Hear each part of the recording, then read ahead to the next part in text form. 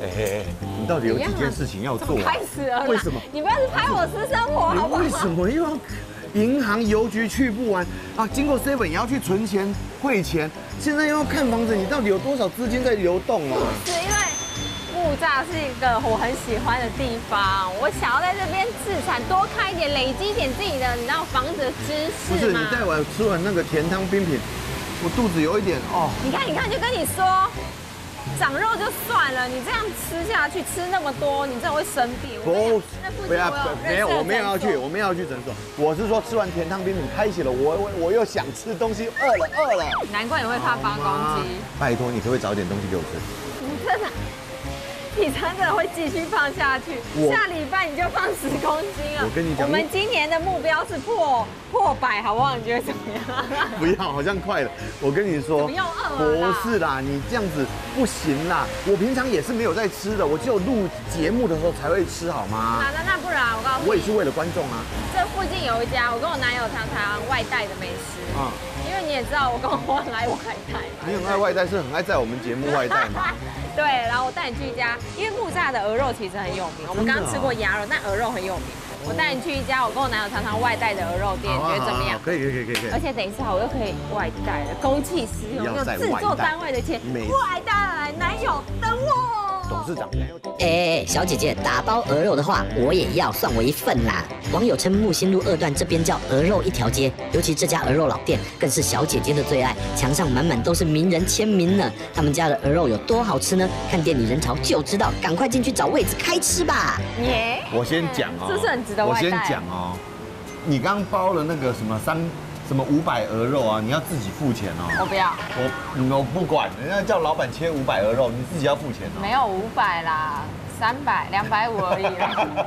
来啦，我先讲一下，哎，我们早上有吃过烟熏鸭肉，对，也有就烟烟熏鹅肉比较少，但是烟熏鹅肉也不好处理哦。嗯，而且他还帮你去去骨，然后直接去在这边，他这个是看出来就是腿。这是鹅腿，对你看香肠，嗯杏鲍菇香肠，哎，它里面这个包的是杏鲍菇，是不是？太酷了。其实我每次好像都没有点这个杏鲍菇香肠。但是好像必点哦。然后你看它米雪糕，哦，撒花生粉，还有酱料，就像外面那鬼对对对鬼对对？对对对，没错没错这个没错。也一般那个一般是在夜市比较看得但是到。一般摊店家不太会这样做，但会是这边这样做很棒。好我爱花生粉。那就先来鹅肉吧，你先。好，我先。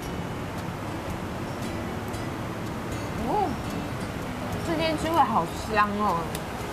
它烟熏的味道很强烈。重，嗯，它烟熏的味道算重哦，可是它比较多的是烟熏味，那个嗯。咸味我觉得反而没那么重对对重，对对。对，它是烟熏的香味很重。而。且烟熏是冲出来的，对。然后它会在你口中留了很久的味道，嗯很香，哦很香，真的很香，有点你知道，有时候吃过油或者过多会有点恶心，它不会耶，而且它鹅肉其实也蛮嫩的，很嫩，很嫩，嗯，每一口肉跟肉之间呢，都都感觉都有夹那个油脂油脂在里面，嗯。的那个水分，但它油脂吃起来好香，好和那个。鹅鹅油在里面，所以其实你每一口你都可以吃到就是非常滋润的那种鹅肉的感觉。嗯对所以我觉得可能因为水分多，所以吃起来相对来说也会比较嫩。再加上它肉质也算是也是本身也是嫩，就是我刚刚吃的鹅肉，到现在都还没有吃哦。那个烟熏味它是会慢慢就是很久从嘴巴然后到你的喉喉咙咙，连你的鼻腔都会有一点点那个烟熏感。不止皮哦，连肉。对对对，它连肉的烟熏味都有哦。基本上它烟熏就是很浓，但是它沾了酱之后，它多了一股那个甜甜甜面酱的味道。甜味刚刚我有问老板，没有愿意透露这个酱用什么方式调的。嗯嗯，因为老板说这是他们的独家秘方，这个真的很不错。它的它的酱吃起来蛮特别的，它其实酱有一点点一点点很微的一点点辣辣感，一点点，一点点，和甜味偏多。嗯，不得不说，这个鹅肉真的可以用香嫩多汁来形容啊！太太太太好吃了！除了鹅肉独有的嚼劲，烟熏香味十足，越嚼越香。沾了店家自制的蘸酱，甜中带咸，更有另一番风味，一样很搭很 match，可能一不小心就会青苔扫光喽。但我真的蛮期待这个，因为我真的是香肠的爱好你。有什么好期待？你刚刚都吃了一条哦。你要期待，我不能假装一下期待一下吗？你假期待，我假期待。杏鲍菇杏鲍菇，杏鲍菇香肠超棒。这么酷，我来吃。哦，很特别，口感很好哎，很好。因为我原本以为它油脂很多，吃起来会比较油？嗯不会哎，不会它，反而吃起来是那种嫩嫩和汁多汁的感觉。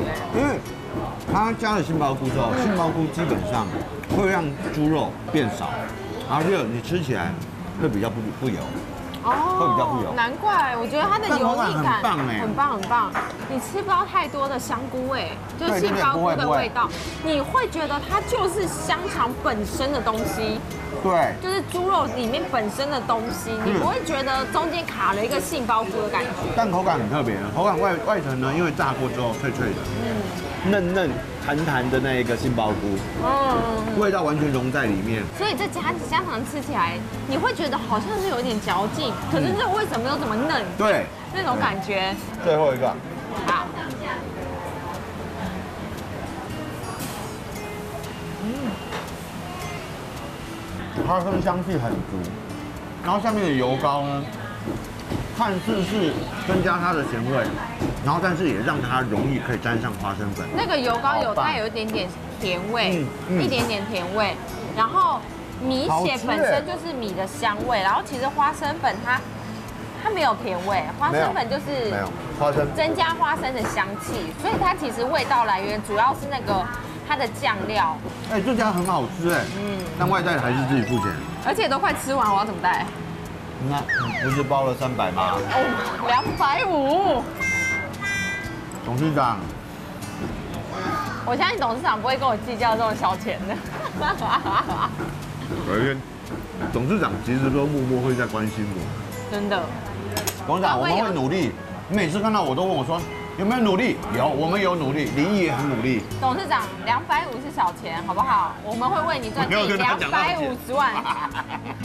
要赚两百五十万回来可能有点难啦，少打包一点比较实在，哈哈，开开玩笑的，多介绍好吃的给观众就好啦。小姐姐最后的压箱宝，五星饭店主厨的麻油鸡，汤头浓郁，鸡肉 Q 又嫩，四季都热卖的好滋味，你绝对不能错过。广告后我们马上回来哦。